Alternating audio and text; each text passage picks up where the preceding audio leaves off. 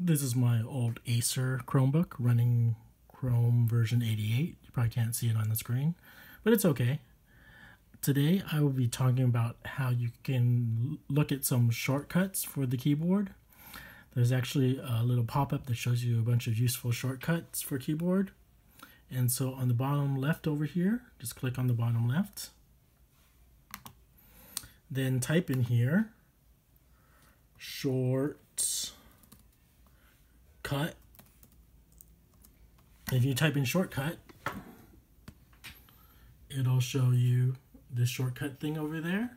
You could use the mouse and click on it. This is a touch screen, so I'm going to go click on it. And voila, it's going to take you to the screen that shows you popular shortcuts, keyboard shortcuts.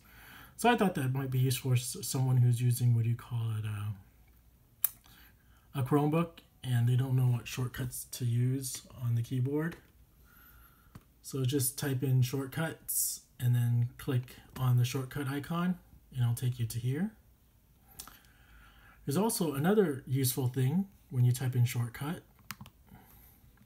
and that's keyboard shortcut. So over here you see keyboard shortcuts. So if you click on that, you can actually modify your keyboard over here. This can also be accessed from settings, devices, and then keyboard. Let me show you. Go to settings, device, and then keyboard. And so once you get into there, you can actually change the keys for search. So right now search is set to search uh, down here, the search key. But you can actually change it to a different key. Click on there and you can change it to a different button. You can even disable it if you wanted to. So I thought both of these are kind of useful for a Chromebook if you're deciding to use a Chromebook. That's all.